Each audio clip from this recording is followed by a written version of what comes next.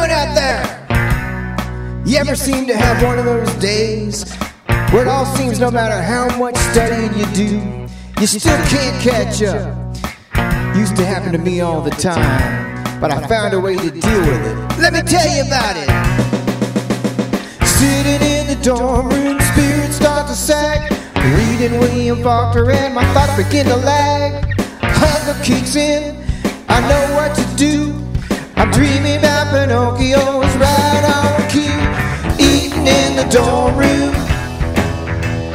eating in the dorm room. Think I'll get a cheesesteak and a stromboli too.